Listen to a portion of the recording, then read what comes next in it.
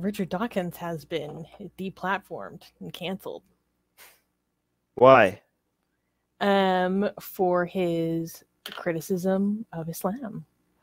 Wait, so these people didn't know before inviting him that he criticized Islam? Like, bef- like how's that? Was that news to them?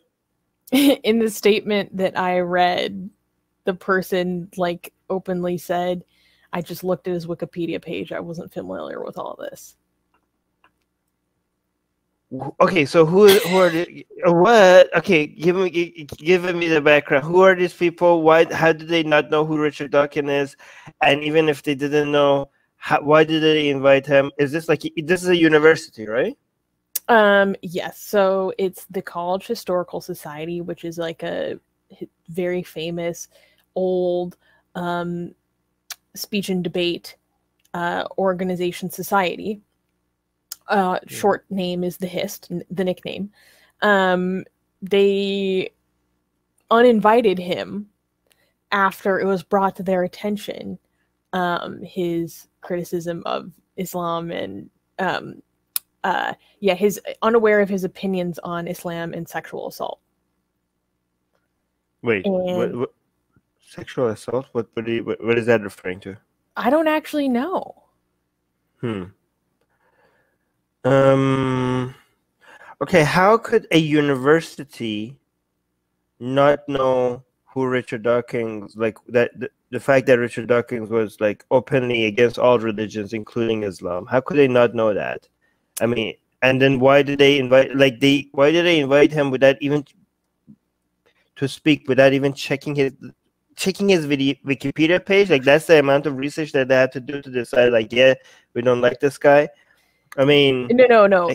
They, well, if I'm remembering correctly, they were hmm. talking about how that's how they, the person who was doing the um the auditing, the auditor hmm. of the HIST, uh, Brid O'Donnell, announced the cancellation, and basically said, "Oh, I had only reviewed his Wikipedia page, but then other people brought to my oh. attention the criticisms oh. of Islam and his opinions on sexual assault.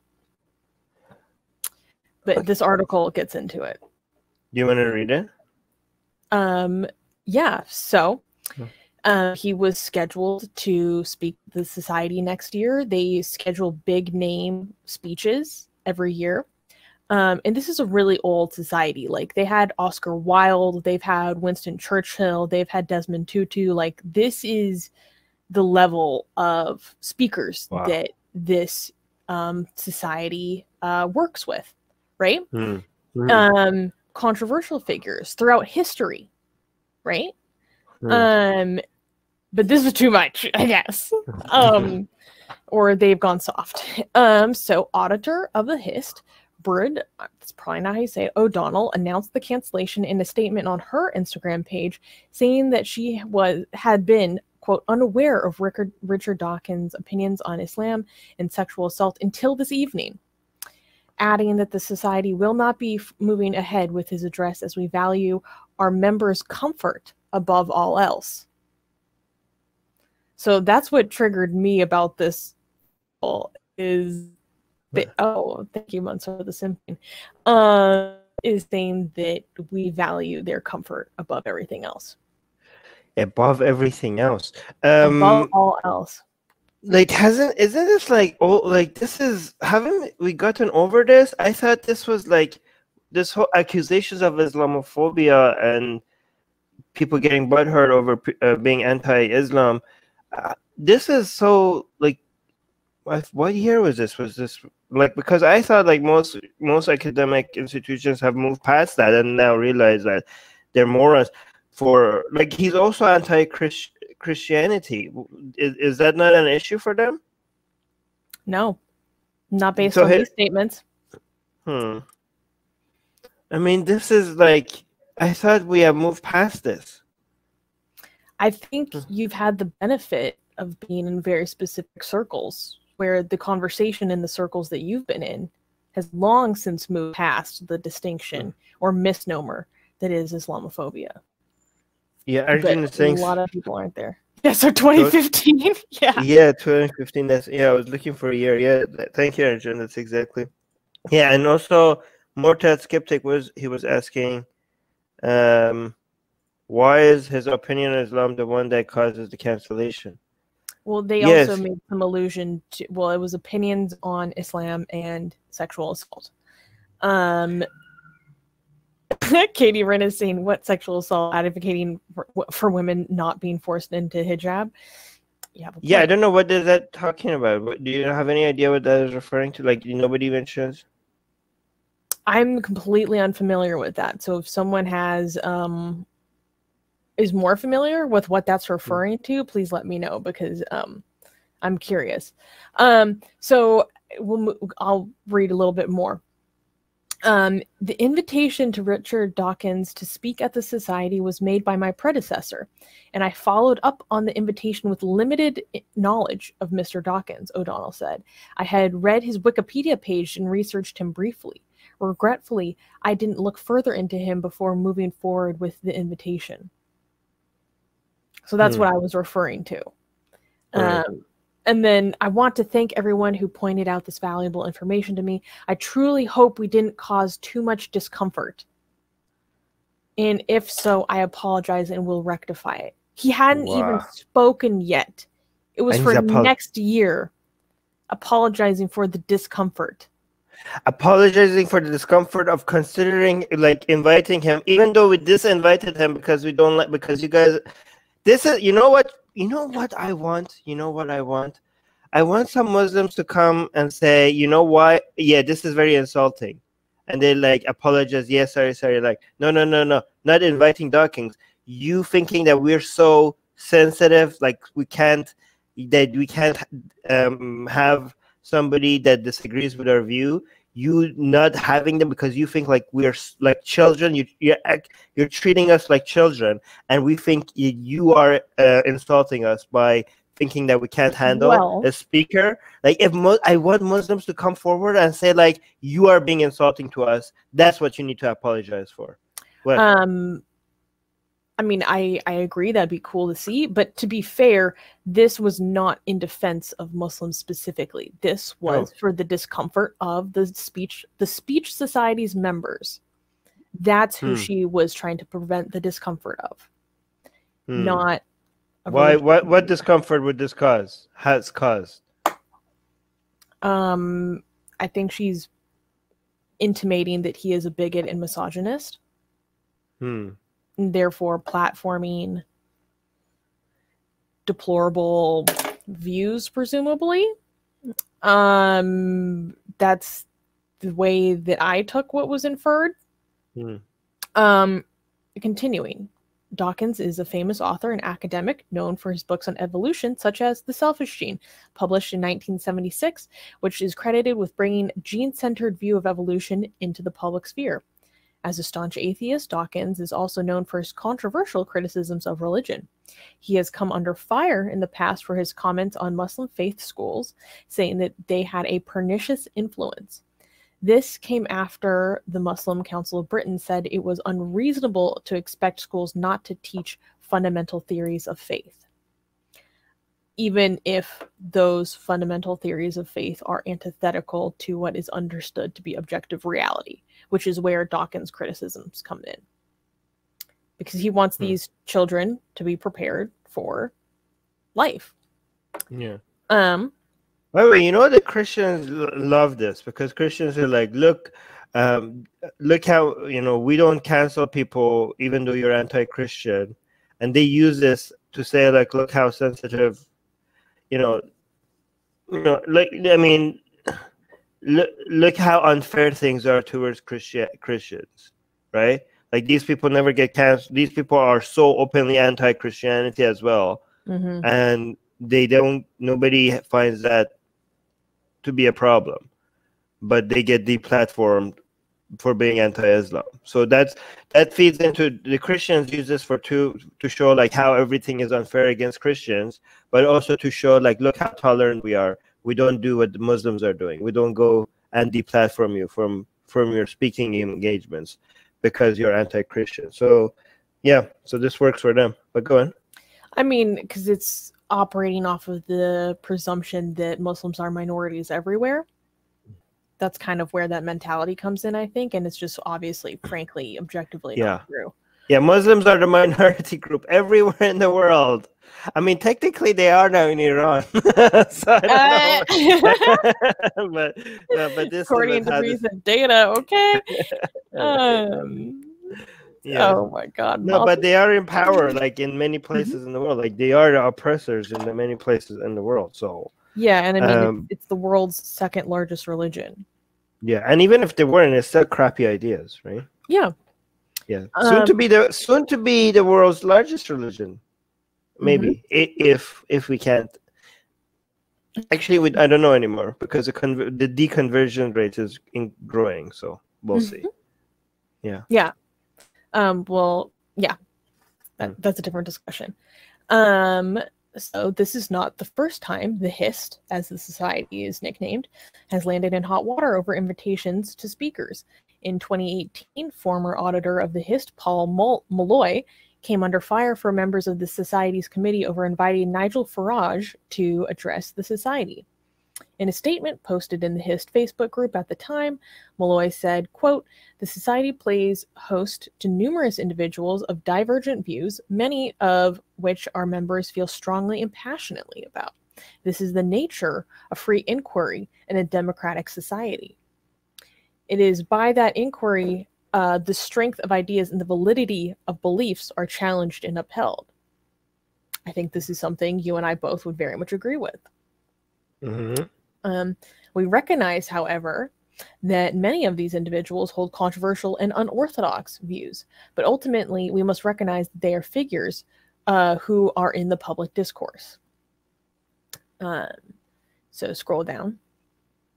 In an open letter to members, 23 ordinary members, including three former auditors of the College Historical Society, aka the HIST, condemned the move to invite Nigel Farage to speak. Malloy later backtracked, saying it was wrong of me to extend an invitation to Nigel Farage in the manner with which I did. I offer my sincerest apologies for any offense which has been caused from um, this subsequently decided not to confer the Society's gold member of outstanding contribution to public discourse on Farage. In an email statement to the University Times, O'Donnell said, I was not pre, so this is going back to the current issue. I was not previously aware of the harmful statements made by Richard Dawkins. The invitation was issued in advance of this committee's tenure, and we are deeply grateful to the members and students who brought this to our attention. And then here's where I get heated again. the comfort of our membership is par- paramount, and we will not be proceeding with Professor Dawkins' address. I apologize for any distress caused by this announcement. Yeah, exactly. We're both getting so upset. Oh my god, where's the ambulance? Eh, man, my feelings were at, ah, we're so distressed. I need years of psychotherapy. And then, oh my god, imagine, like, imagine going to your therapist and I'm gonna cry. What happened today? Oh, our organization invited a speaker that I do not like. I don't know if I could ever recover from this. Doctor, save me. Stress? Oh my god. Okay. Yeah, Who I- are these babies? Who are these babies? Oh my god. Like somebody just like locked them up in their room because they can't handle like these people are not these people are not ready to like face the world. Like Mhm. imagine like if they if this causes them distress, like seriously, like wrap them up in like some bubble wrapping or something, like because like they're gonna get like they're gonna get seriously hurt by if oh my god. How have they survived the world till now? How did how have these people managed to reach adulthood? Like how how, are they still alive given that this causes them distress like the- yeah oh my god imagine if these people were like like somewhere else like throw them in yemen or something like they would Mhm. like no, they will not survive a week they wouldn't this causes- 24 hours. right? Oh my god. oh god. Um, but go- Yeah. L- Okay, so I apologize for any distress caused by this announcement. Just the announcement itself. And the HIST will continue to listen and adapt to the needs and comfort of students, she added. Uh, so, oh my God. So this is from the HIST, one of Trinity's two debating societies, and it is the oldest student society in the world, having been founded in 1770. Okay. So, like, I I really can't stand this promotion of safetyism. Mm. Um, it's it's intellectually crippling. It's infantilizing. Um, if if what he puts forward is so supposedly harmful, I would suggest maybe inviting a speaker after him that would counter what he said. I find it hilarious that there is a big official sign on the side of the Trinity College Pearse Street near the Science Gallery that reads, quote, disruptors and innovators welcome. Well, This say that again. Your audio got cut right before you read this. Disruptors. and- disruptors and innovators welcome. Hmm. And then they say, well, dot, dot, dot, dot. Yeah. And that's what the university is meant to be about, particularly humanities. Hmm. Um, humanities without robust debate is a waste of taxpayers' money. I could agree. Um, the HIST should be wrapped up. Their former auditor, Michael Coleman, got into some controversy a few years ago for allowing sexism to run rampant in the HIST, apparently. And yet he spearheads a move to make the current auditor drop the invitation to Hawkins. The entire society doesn't sound fit for purpose, and it's an embarrassment that there was such a prominent it has such a prominent billing in Trinity. All right. So what I like about this is that this is not like in a free speech like these comments, and a lot of comments are like that here. Okay, but this is not. This is these re- reactions. It's not like in a Reddit a subreddit that is about free speech or a atheism subreddit. Like it's not a pro Richard Dawkins, but you know subreddit. This is just our Ireland, right? Mhm. So these are the kind of reactions that you get. Mm, like this is the second top comment, right? And these are the most upvoted comments. Yeah, I couldn't find anything of him um, making a statement on this Hmm. on um uh oh wait um he retweeted something a video of Gad Saad giving his take on the situation. Gad Saad put out a video called the deplatforming of Richard Dawkins and then Richard Dawkins retweeted that video and said um, Trinity Dublin is an educational institution of high distinction. It would be unfair to condemn this ancient college because of the sheep like conformity of one rather foolish individual who seems to have no understanding of what a university is for. Good. Good. I like that.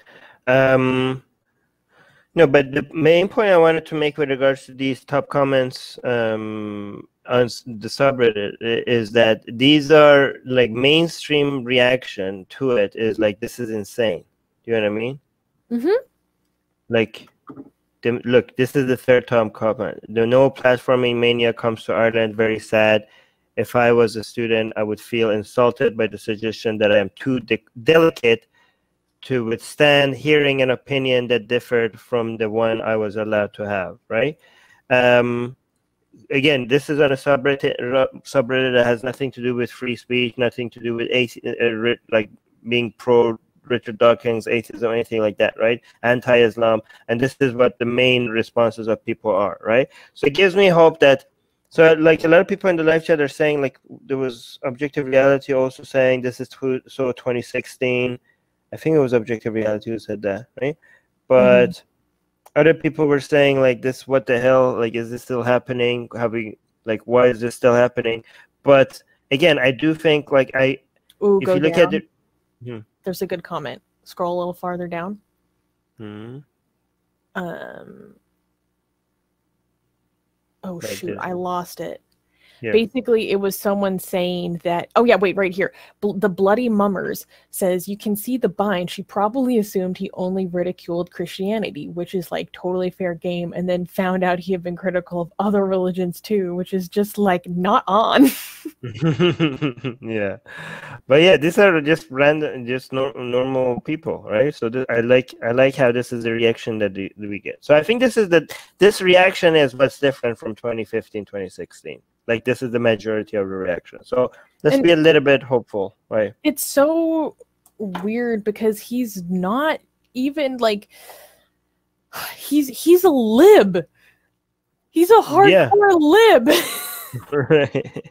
Like, he's they they they're acting like he's um But really but that- but Yeah. even if he was like, okay, let's even like if let's he be was right, extreme far righty, right. I would be interesting to see No. that speech.